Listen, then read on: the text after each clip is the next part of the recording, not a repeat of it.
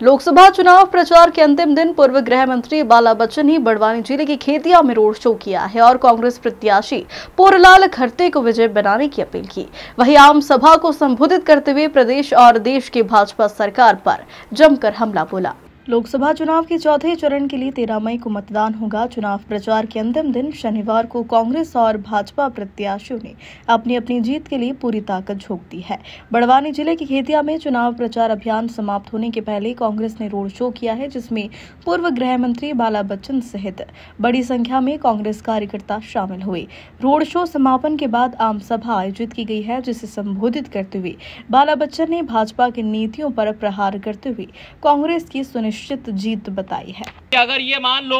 अगर ये फिर से जैसे बात करते हैं 300 और 400 सीट पार की बात करते हैं, इनका खुला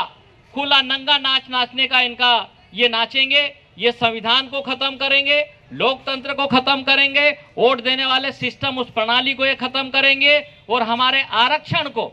जिसमें हमारे अनुसूचित जाति, जनजाति, जिसमें हम आदिवासी, दलित और उसके बाद पिछड़े वर्ग के हमारे भाइयों और बहनों को, देश के संविधान के मुताबिक हमको जो आरक्षण मिल रहा है, जैसा कि मैं बता बता बता रहा हूँ आप लोगों को, आदिवासी और दलित समाज के भाई तो हमारे सब जानते ही, बाकी कोली समाज के भाइयों को भी बताना चाहता हूँ कि वो भी भैया, आप लोग भी आरक्षण के अंतर्गत आते हो तो पहला काम ये आरक्षण को खत्म करने का काम करेंगे, संविधान को खत्म करने का काम करेंगे, लोकतंत्र को खत्म करने का काम करेंगे, इसलिए आप लोग चुकना मत उसके पहले इनको आप लोगों को खत्म कर देना है। इस बात का आप लोग ध्यान रखना। लोकसभा चुनाव को लेकर के कांग्रेस की स्थिति को लेकर बता रहे हैं पूर्व मंत्री श्री बाला बच्चन जी। मैं आप लोगों को बताना चाहता हूँ कि खरगोन बड़वानी लोकसभा में हमारी कांग्रेस पार्टी की स्थिति बहुत मज़बूत है और कोई डाउट और कोई संशय नहीं है। हमारे कांग्रेस पार्टी के उम्मीदवार को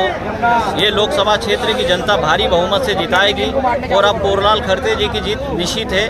और देश में कांग्रेस गठबंधन की सरकार भी बनेगी और अच्छे वोटों से हम खरगोन बड़वानी लोकसभा को हम जीतेंगे। जिस तरह से जो हमारे कांग्रेस पार्टी के पदाधिकारियों में, उसके बाद में हमारे कार्यकर्ताओं में जो जोश और उत्साह है वोटिंग डलवाने के लिए और मतदाताओं का भी जो जो पोरलाल खरते जी के और हाथ के पंजे का पक्ष लेने का जो रुझान जो दिख रहा है इससे निश्चित ही तेरह मई को जो परसों जो वोट पड़ेंगे अच्छे वोटों से हम इस सीट को जीतेंगे।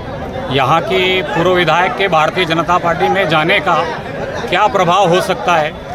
उसका विपरीत प्रभाव जो मैं आपको बताना चाहता हूँ कि भाजपा ने जिस तरह से जो एजेंडा कि कांग्रेसियों को तोड़ तोड़ के भाजपा में लेने का जो काम किया है, उसका परिणाम चार जून को जब रिज़ल्ट खुलेंगे तो पता चल जाएगा कि चंद्रभागा किराड़े जी को कांग्रेस से भाजपा में लेने का उनको सौदा कितना महँगा पड़ा है। ये चार जून को मानसमल खेतिया निवाली पलसूद की जनता उनको जवाब दे देगी, हाथ के पंजे का बटन दबा के। चार जून को रिज़ल्ट आएगा तो इनकी आँखें खुल जाएगी कि इस तरह की राजनीति करने का परिणाम क्या होता है।